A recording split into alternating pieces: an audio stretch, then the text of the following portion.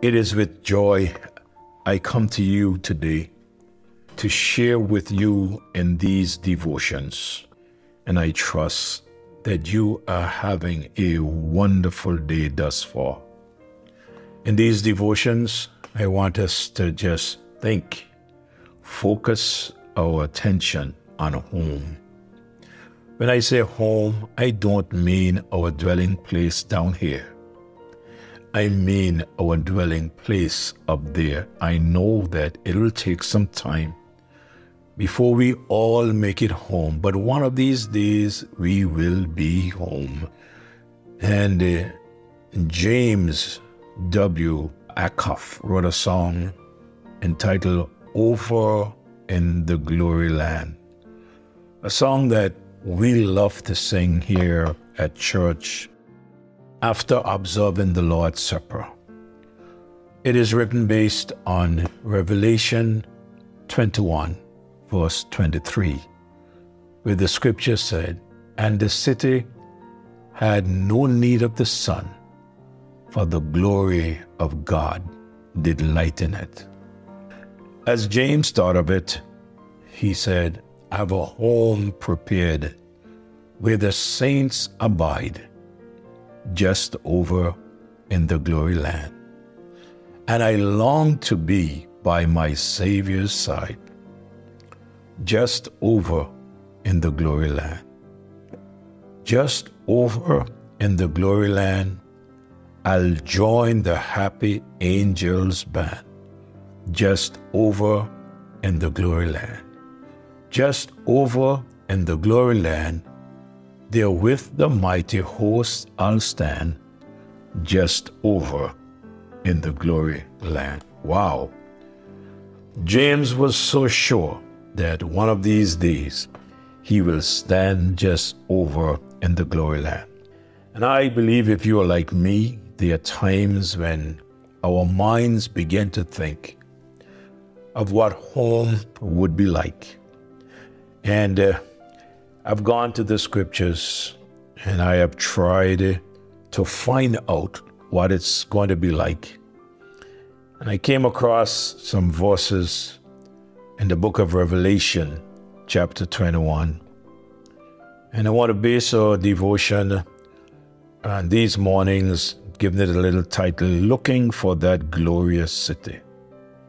So in Revelation 21, verse 9 to 11, the scripture said, And there came unto me one of the seven angels which had the seven vials full of the seven last plagues, and talked with me, saying, Come hither, and I will show thee the bride, the Lamb's wife. And he carried me away in the Spirit to a great and a high mountain, and showed me that great city, the holy Jerusalem, descending out of heaven from God, having the glory of God, and her light was like unto a stone most precious, even like a jasper stone, clear as crystal. Well, let me be honest with you. I will try and explain to you in these devotions what this place will look like. But you know, in all my explanation, I still would not have given you the complete picture of what this glorious city looks like. May I say to you that it is said that a vote was taken on what is the most beautiful city in the world. We are told that after the vote was taken, the results came back where Rome, Italy, was voted as number one. Coming in second was Florence, Italy. And third, we are told, was France, Paris. I never been to any of those cities, but I've looked at pictures of them and read about them. It is amazing to note that Rome, Italy, has buildings in its city built over 1,000 years ago with art you can't imagine. We must acknowledge man way back there, though they did not have modern tools as we have today, they did an outstanding job. Those cities were built by man. They are places we go that we are surprised to see the beauty, the artwork that is placed in those cities. The city that I will be speaking to you about is not one that was built by men. If you can remember, when Jesus was here on earth, he made a promise to his disciples and to us when he said, and John recorded for us in John's Gospel, chapter 14, verse number 2 and verse number 3, when he recorded for us, he said, In my Father's house are many mansions. If it were not so, I would have told you. I go to prepare a place for you. And if I go and prepare a place for you, I will come again and receive you unto myself, that where I am, there ye may be also. What a place that must be. When you and I have imagined all, all that we could, still will fall short of describing this place. Notice what Paul said to the Corinthian believers in his first letter, chapter 2 and verse 9. But as it is written, I have not seen, nor ear heard, neither have entered into the heart of man the things which God has prepared for them that love them. Could you imagine? He said, No eye had ever seen, no ear had ever heard. No man has in his heart the things that God had prepared for them that love him. Wow.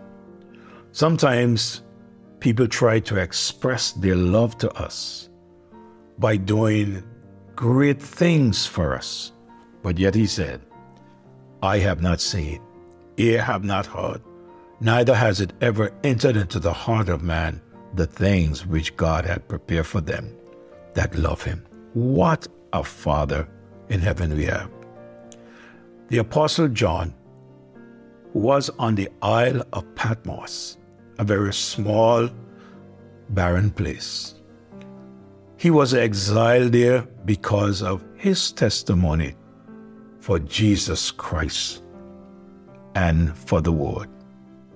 He wrote in Revelation chapter 1 and verse 9 I, John, who also am your brother and companion in tribulation and in the kingdom and patience of Jesus Christ, was in the isle that is called Patmos for the word of God and for the testimony of Jesus Christ.